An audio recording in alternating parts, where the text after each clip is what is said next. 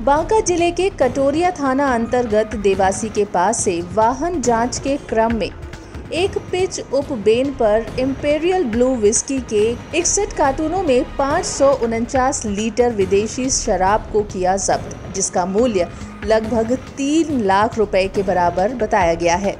साथ में तीन शराब तस्कर, शुभम कुमार, चंदन कुमार और कुंदन कुमार पसराहा थाना जिला खगड़िया को गिरफ़्तार किया गया। पूछताछ के क्रम में पता चला, धान का भूसी लोड कर खगड़िया से गिरडीह गई और वहाँ पर शराब कारोबारी ने भूसी के अंदर इकसठ कार्टून विदेशी शराब को छुपाते हुए लोड कर दी और गाड़ी को पुनः वापस भेज दिया। आगे शुभम कुमार ने बताया कि मेरी गाड़ी का भाड़ा बीस हज़ार में विपिन कुमार ने तय किया था। उत्पाद विभाग की पुलिस ने विपिन कुमार के साथ तीनों के विरुद्ध मामला दर्ज करते हुए आगे की कार्रवाई करने की बात कही है। रेड का नेतृत्व मनीष कुमार सक्सेना, अवर निरीक्षक मध्य निदेश ने किया।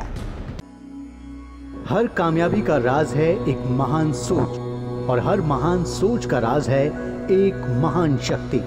हर महान शक्ति का राज है आत्मशक्ति, और आत्मशक्ति का राज है आत्मज्ञान, यानी अपना ज्ञान। तो क्या आप भी होना चाहते हैं कामयाब, या फिर चाहते हैं अपार धन दौलत और शोहरत।